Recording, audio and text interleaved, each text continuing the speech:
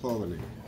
Alcalde, este, manifestaba algo sobre ayer el centro de la República del país habló de unos bonos para mitigar la, la pobreza extrema.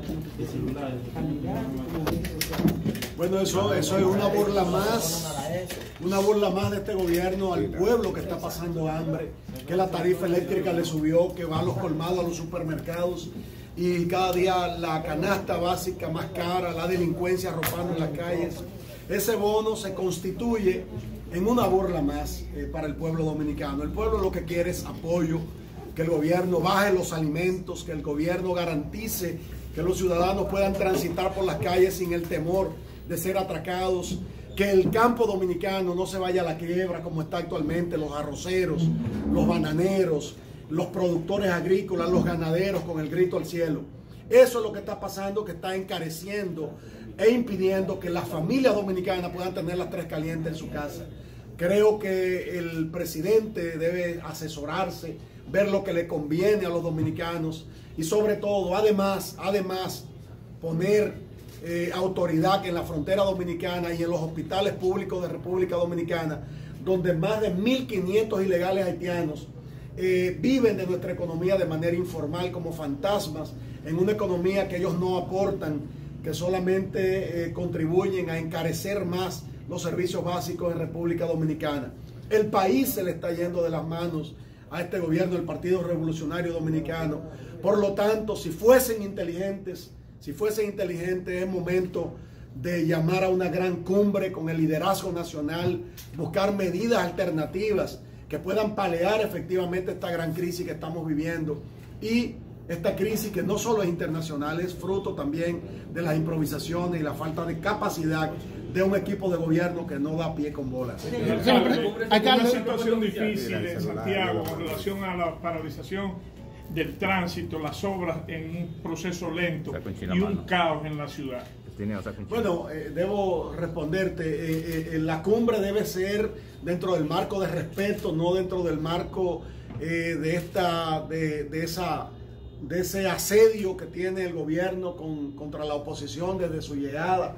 El, pueblo que quiere ahora es soluciones, resultados, alternativas positivas, que la juventud, que las mujeres tengan oportunidades, que no se esté pasando tanta hambre como está pasando ahora, cuyo, cuyo eh, solución no es 1.500 pesos a un millón de familias. El problema es de los 10 millones de dominicanos que vivimos en esta media isla y que estamos viendo cómo cada día los pobres son más pobres y la clase media está colapsando. A, ver, la semana pasada usted... ¿Qué usted plantearía entonces en esa cumbre que usted... No, lo primero es que el gobierno eh, busque ayuda del liderazgo nacional, se centre en medidas positivas para el pueblo dominicano y no en medidas que vayan en esa en la dirección de la improvisación que están eh, haciendo desde, desde, el momento en que llegaron. Los puntos específicos. Los la, sema, la semana pasada usted hacía un pedimento sobre la administración del monumento. Eh, ¿Usted entiende de que eh, la alcaldía debería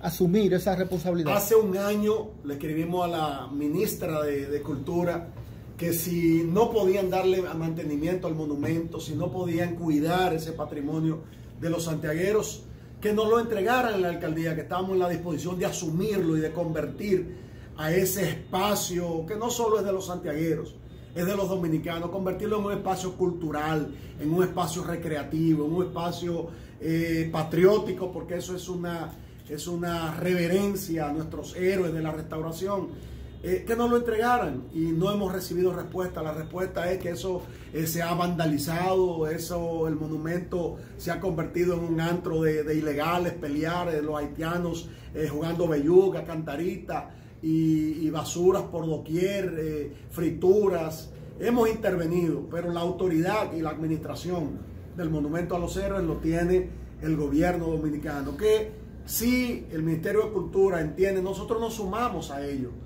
para que rescatar ese importante espacio de, de los santiagueros y de los dominicanos. Señor alcalde, su opinión con relación a los eh, residentes en la Villa Olímpica se quejan, no pueden dormir, dicen ellos que los ilegales, en música alta, eh, hacen su necesidad a cualquier hora del día. Sin embargo, en los hospitales aquí en Santiago están llenos de ilegales y nada ocurre. ¿Cuál sería su, su plan de trabajo? La República Dominicana está haitianizada, la República Dominicana está invadida, las autoridades no hacen nada el presupuesto de salud pública se va en las parturientas haitianas. Más de 30 mil partos ya de, haitianas ilegales van en, los primeros nueve meses y esos son los registrados.